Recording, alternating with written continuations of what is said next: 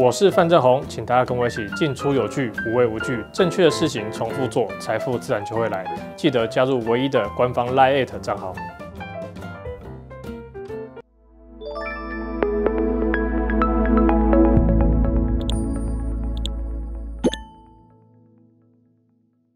大家好，欢迎来到海豚交易室，我是 Mr 海豚范正宏。那现在第二阶段呢，要帮大家分享的是今天的强势族群，那分别是记忆体、特用化学还有 A N 零组件。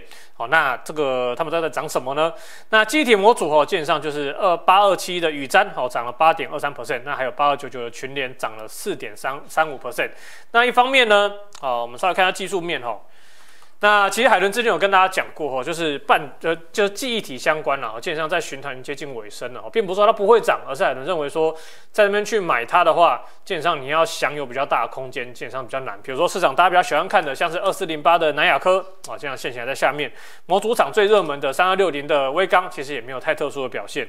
那八二七的宇瞻呢，好跟这个八二九九的群联，那一方面群联是被外资上修目标价，哦，那当然就是正向反应。那八二七的宇瞻呢？跟其他一些你今天有动的记忆体概念股吼，那基本上是比较受到美光吼这边的激励的大涨吼，所以并没有太特殊的理由。那当然，宇瞻的上涨吼，海豚就是就只能提醒吼，这个还是留意一下吼，这个循循环的末端了吼，循环末端的问题还是有存在的吼。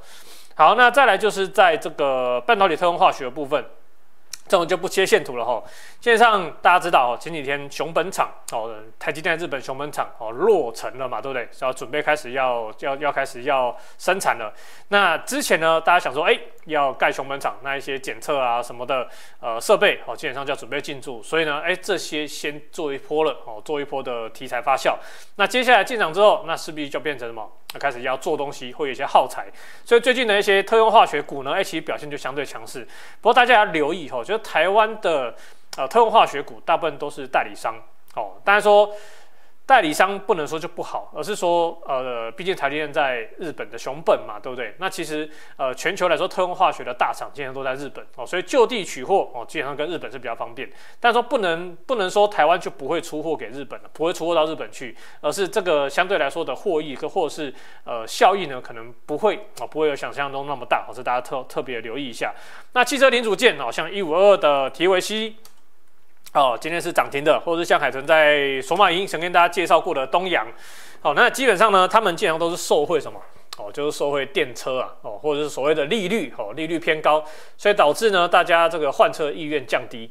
那换车意愿降低，就旧车继续开。那旧车继续开啊，你车子碰到了要换东西，要换车灯，哦，要换那个保险杆，哦，那自然的频率就变高了。所以就受相对来说，这 A N A N 厂呢就受惠了，哦，所以导致呢，哎，他们这一波的营收在第一季是有机会淡季不淡的，而走出延续性的行情。哦，这部分就分享给大家去做参考喽。那当然说，以技术面来说，东阳的话，哦，今天的低点就不能破了哦，因为大量低点不能破嘛。那至于为什么哈，那些海豚在索马银有教过，那你还是不知道的话，好，欢迎来索马银后，海豚再另外教给你哈。那在一五二的 TVC，，好，最近也是一样，哦，今天也是一样，哦，今天的低点当然就不能破。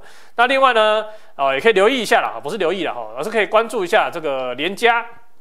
好，因为人家之前海豚在索马营也跟大家讲过后，哎，一月份的营收有跳出来喽，哦，那是不是说，呃，相关的产能开出来之后，哎，这个营收开始要去做挹注了？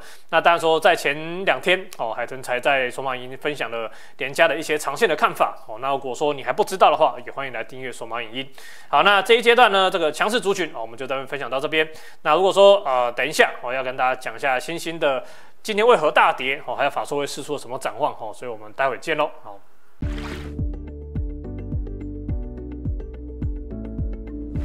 华冠投顾首推荐分析之个别有价证券，无不当之财务利益关系。本节目资料仅提供参考，投资人应独立判断、审慎评估，并自负投资风险。华冠投顾一一一金管投顾新字第零一五号。